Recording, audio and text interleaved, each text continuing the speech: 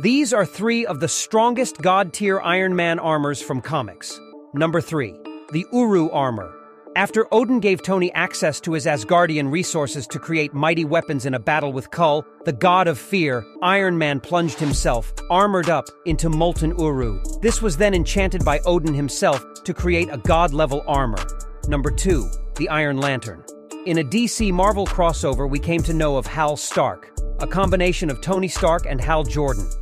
After Stark found a battery near an alien ship that was badly wrecked, he used the ship's battery and parts to create a suit of armor, which in turn gave him the powers of Green Lantern, along with a technologically advanced Iron Man suit.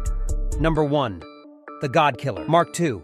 The God Killer armor was a celestial-sized armor based on the original design created by the Aspirants. It was powered by eight nuclear reactors and had the power to physically confront a dark celestial for a limited period of time.